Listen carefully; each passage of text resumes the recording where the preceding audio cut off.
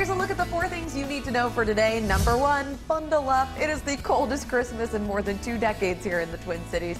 The wind and snow is causing delays at airports across the Midwest and East Coast, making for a slow go on the roads. Number two, President Trump in Florida for the holiday season attended Christmas Eve worship services with his family at the Episcopal Church in Palm Beach. Yesterday, the president played golf, briefly addressed members of the military, and also spoke to children who are following Santa on the NORAD tracker. Number three, Pope Francis, celebrating Christmas Vigil Mass, spoke to the faithful at St. Peter's Basilica at the Vatican.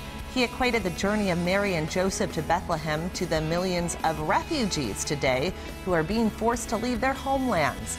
The Pope said he hopes that no one will feel, quote, there is no room for them on this earth. And number four, should we say it all together? Skol! The Minnesota Vikings are close to getting a first round bye in the playoffs. They shut out the Green Bay Packers on Saturday 16 to nothing.